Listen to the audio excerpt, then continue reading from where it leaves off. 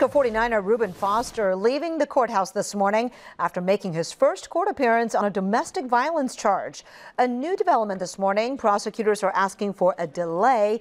This after the linebacker's former girlfriend recanted her claim that Foster had injured her. ABC 7 News reporter Matt Keller is live at the Santa Clara County Court in San Jose. Matt? Hi, Kristen. Well, prosecutors formally dismiss a misdemeanor charge against Reuben Foster for ammunition that was in his possession at his Los Gatos home. But the big news coming out this morning here from the courtroom is that the district attorney's office now has new evidence in their hands.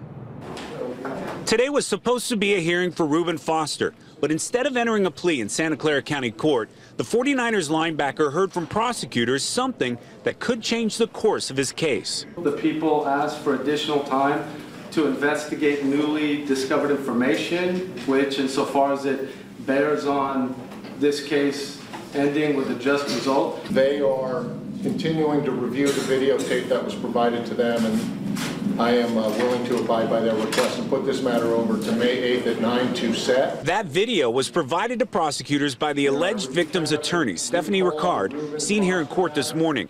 She did not talk to the media today, but in a statement released last week, Ricard says Foster's former girlfriend initially lied to police about the incident and suffered her injuries as a result of a fight with another woman.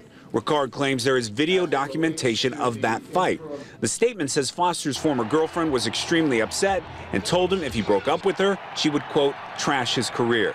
After today's hearing, prosecutors explained why an alleged victim changing her story isn't necessarily a deal breaker for domestic violence cases. Sadly, too often, victims of domestic violence, for a host of reasons, choose not to cooperate with the process that holds their abuser accountable. Notwithstanding that, if the evidence independent of a victim in a domestic violence case is compelling, it's the prosecution's duty to seek justice. Foster's next hearing is scheduled for May 8th. The 49ers have previously stated that they're going to wait until this case ends before deciding anything on Foster.